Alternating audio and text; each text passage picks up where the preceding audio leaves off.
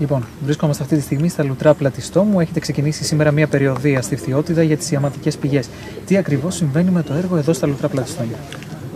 Να ξεκαθαρίσουμε ότι η χώρα έχει έναν πλούτο. Πλούτος που λέγεται ιαματικέ πηγές και ιαματικό τουρισμός. Και είναι γεγονός ότι επί δεκαετίες αυτόν τον πλούτο δεν τον έχει αξιοποιήσει. Αυτός ο πλούτος ανήκει άμεσα και έμεσα στο ελληνικό δημόσιο.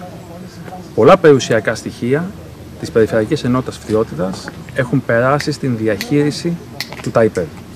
Εδώ, συνεπώς, τα λουτρά πλατιστόμου είναι ένα από αυτά τα περιουσιακά στοιχεία. Είχα την ευκαιρία, συνεπώς, σήμερα μαζί με την τοπική αυτοδιοίκηση και με τα στελέχη του ΤΑΙΠΕΔ, της ΕΤΑΒ και του Υπουργείου Τουρισμού να θέσουμε χρονοδιαγράμματα και προτεραιότητες έτσι ώστε να αξιοποιηθεί αυτή η πηγή, αυτός ο χώρος, αυτό το περιουσιακό στοιχείο. Όπως έχω πει και στο πρόσφατο παρελθόν, στο πλαίσιο της τακτικής και τακτής κοινωνικής λογοδοσίας, αυτό είναι το πιο δύσκολο έργο της Περιφερειακής Ενότητας Φθιότητας.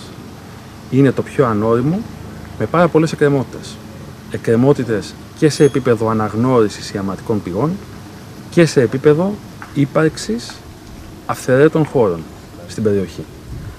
Αποφασίσαμε από κοινού με το ΤΑΙΠΕΔ και την ΕΤΑΔ και το Υπουργείο Τουρισμού να προχωρήσουμε άμεσα στην αναγνώριση των δύο πηγών που μένουν χωρίς αναγνώριση ακόμα. Έχουν αναγνωριστεί δύο, εκκρεμούν άλλες δύο και το ΤΑΙΠΕΔ να τρέξει άμεσα μία μελέτη για την νομοποίηση των αυθαιρέτων και για τις μελέτες που πρέπει να γίνουν στο ρέμα έτσι ώστε να μην υπάρχουν αυθαίρετα.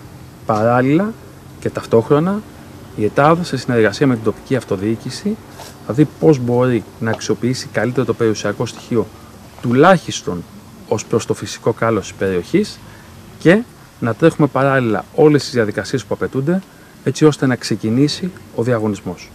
Εκτιμώ και θέλω να είμαι απολύτως ειλικρινής και ρεαλιστής ότι ο διαγωνισμός μπορεί να γίνει σε αυτό το περιουσιακό στοιχείο το 2024. Δηλαδή θα είναι ο τελευταίος από τους διαγωνισμούς που θα τρέξει το ΤΑΙΠΕΔ, ήδη έτρεξε έναν το 22, εκτιμούμε ότι θα τρέξει άλλους τρεις διαγωνισμούς 22-23 στα άλλα περιουσιακά στοιχεία του νομού που θα δούμε αργότερα και αυτό θα είναι το τελευταίο περιουσιακό στοιχείο το 2024.